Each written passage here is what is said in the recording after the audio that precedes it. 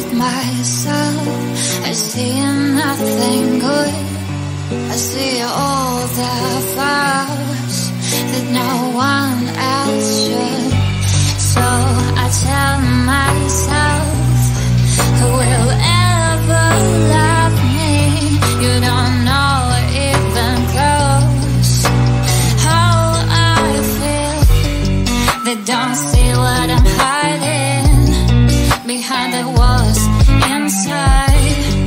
what's wrong